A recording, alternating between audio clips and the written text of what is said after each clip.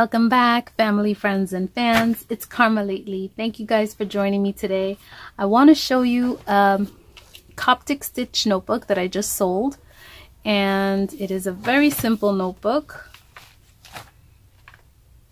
It's got a little pocket here.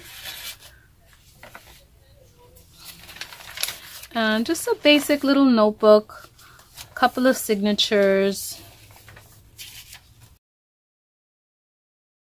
It's a Coptic stitch, so the pages lay flat.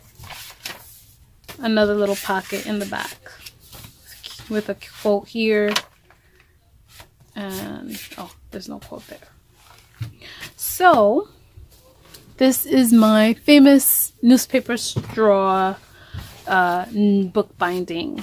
I also made um, these corners with cardstock and then Mod Podge them just as an embellishment so I did not get an opportunity. I didn't have any room on my, I didn't have any storage in my phone. So I didn't get an opportunity to show you guys how I was able to make this elephant. Now, if you remember my, my previous um, Coptic stitch notebook with the elephant, I made a pattern on tracing paper and I just drew the pattern and then cut it out and then put the tracing paper on here. I was kind of debating between using tracing paper and cardstock, but I figured I should have a nice strong piece of cardstock that I could, um, I just took a scrap scrapbook uh, page and I made this pattern from it. Ironically, it kind of tore right here, right on the on the trunk.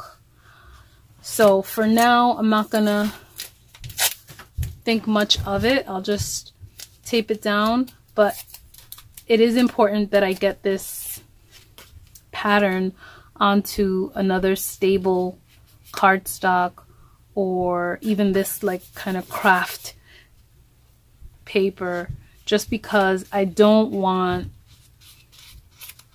I really really don't want anything. I just want to always have it and then I'll keep it in my notebook. I have a I have a little album book with all of my patterns for different things and I'll show you guys that at another time. But I just wanted to go over really quickly how I was able to go from a blank piece to this so this is going to be my forever, this is going to be my forever pattern. And now I'm going to just get us, I'm going to get some paper.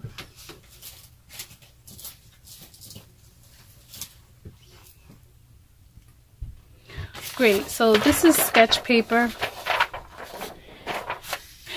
and I'm going to do the same thing again. I'm going to do it really quickly and actually I'm not going to use a pencil because I there's like a specific pencil that I like to use and it's funny when I don't find it I actually don't want to use a pencil. you could do this with crayon, marker, pen, whatever you want. Um, actually, I don't want to do it with green. I don't want to do it with green.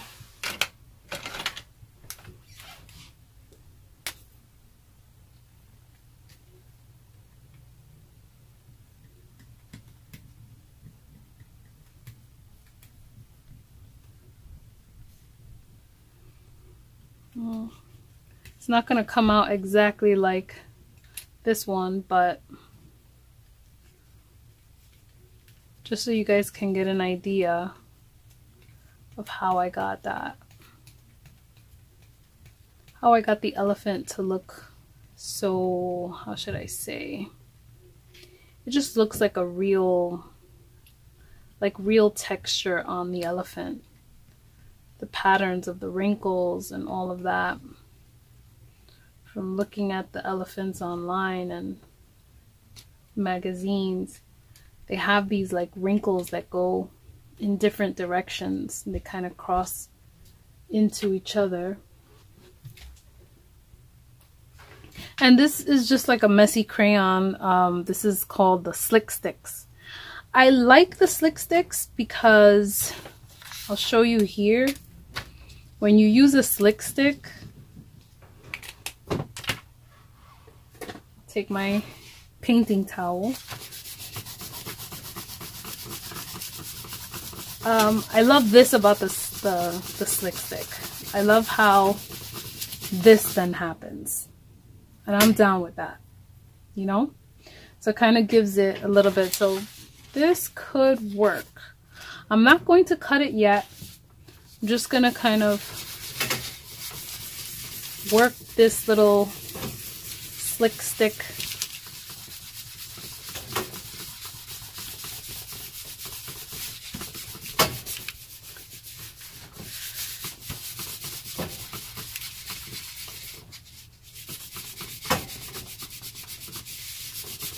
Love it.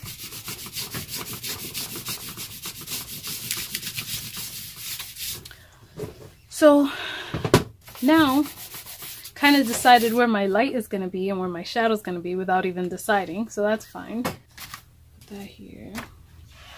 Now the next thing I want to do, I want my distress ink. Now this distress oxide is the vintage photo. Tim Holtz. Tim Holtz Distress Oxide. Okay, so actually, I got some brown. Now, don't make fun of my uh, jar here. This is my Eco Styler gel jar, and I have mixed a couple of colors in here. I mixed orange and black and I added some purple. So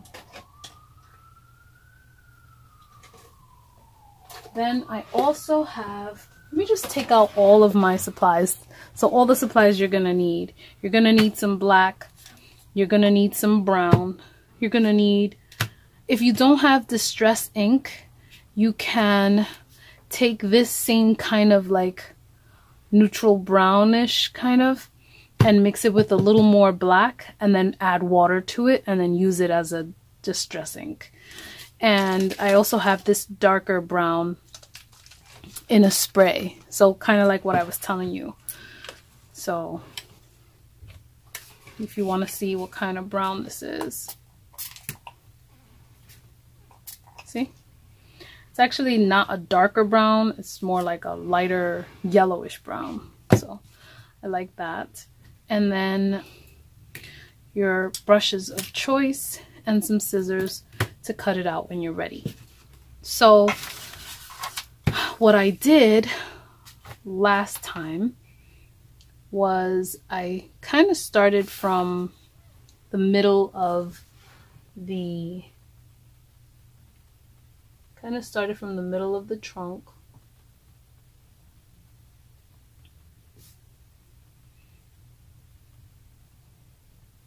just created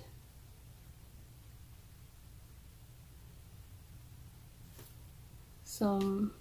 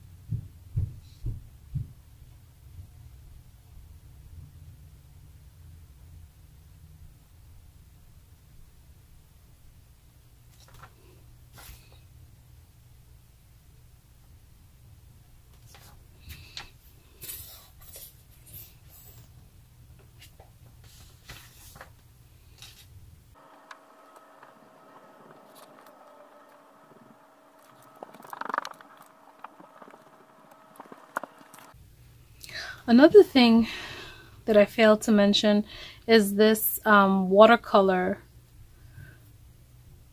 This is a brownish watercolor. I don't have the the brand. Sorry. If I find it, I will um, definitely link it in the description or at least um, give you the name of the company. But yes, so this watercolor, I'm just going to add a little bit of water.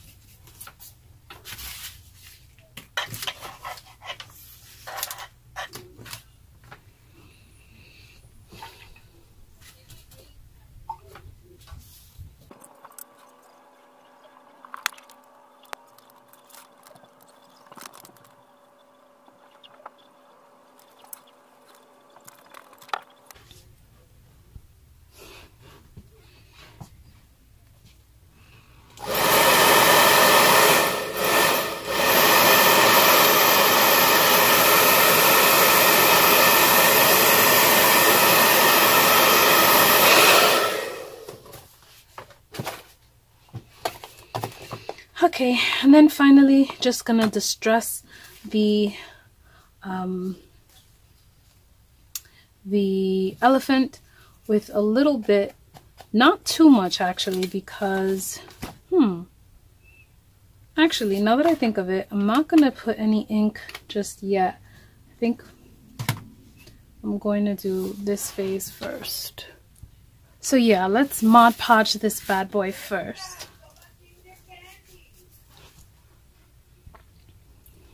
Now,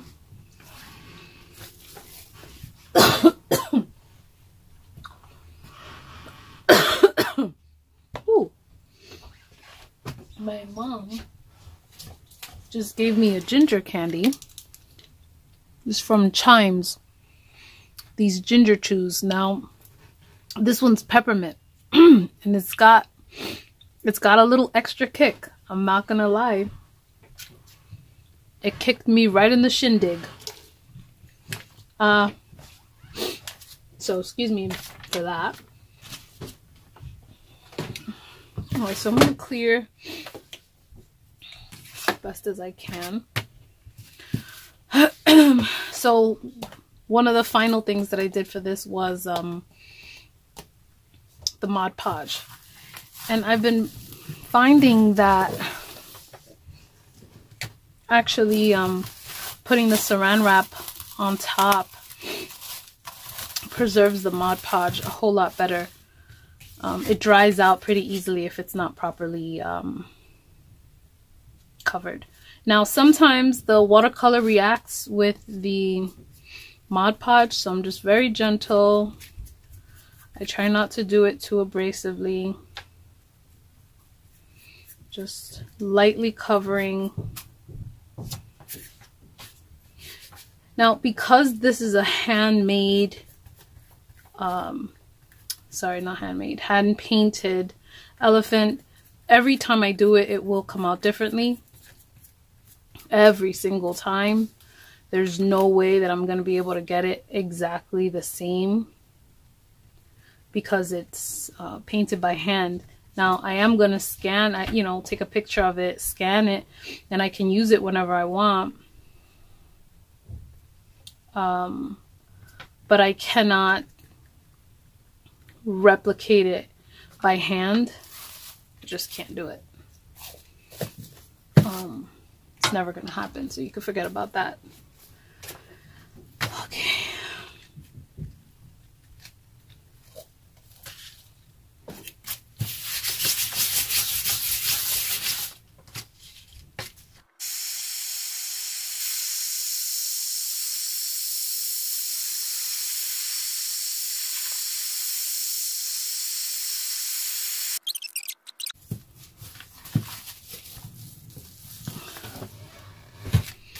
So now that she's all dried up, you see how she's kind of come to life. She's come to life and I want to distress her a little bit. Not a lot.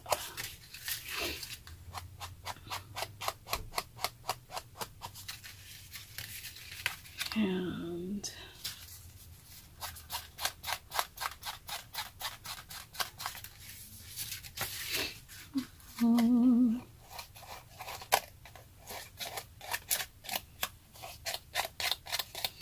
I don't have to give her the same treatment that I gave the other one. Just um, little something.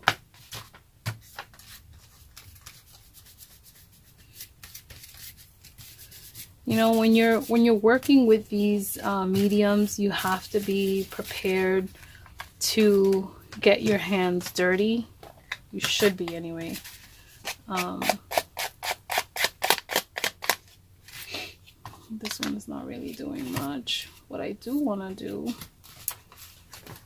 I do, I'm to take another one of these. Gosh, these are so addicting. And then it has like the powder. I'm not to touch it with my hands because my hands have paint all over them. But, oh god, so good. Look at that. That's a really good candy.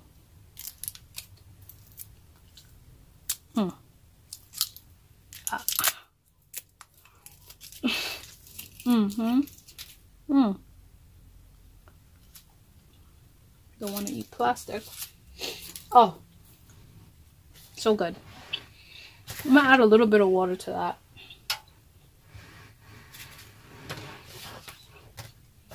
And with my finger, I'm going to lightly distress certain areas.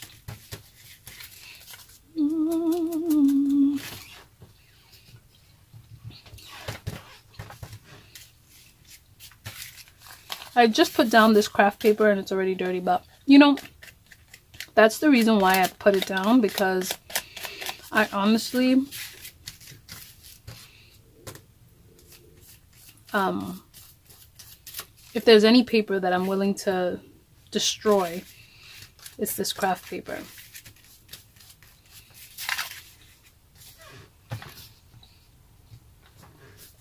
I like to work with my hands and get in there, you know.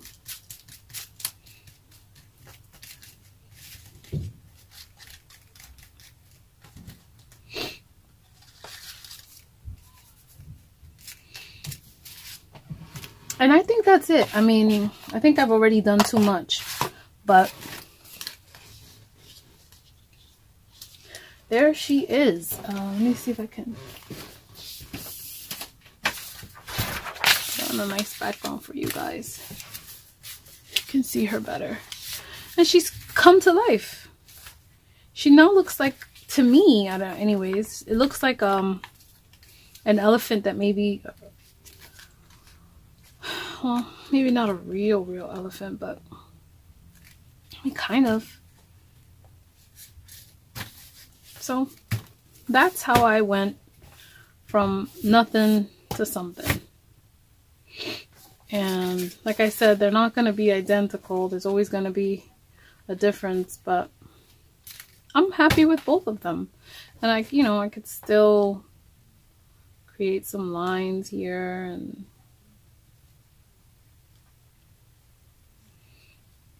but overall super happy so thank you guys for watching um, this video um, this book, this Coptic Stitch notebook, was for my dear, dear friend Nikki, Nicole Rosario in Florida. She always comes down um, and she saw my notebook that I had gifted to my sister and she requested, instead of the zebra, she requested this one. And so, Nikki, this is for you. I'm assuming if, I, if I'm playing this video, I'm assuming that you are already um, you already have this uh, notebook in your possession. So thank you so much for your uh, patronage and thank you to my YouTube subscribers for watching. We're almost at 300, so I'm going to be able to give away the um, the prize for the 300 subscribers to the lucky winner and then I'll be able to announce my next giveaway for when I reach 500 subscribers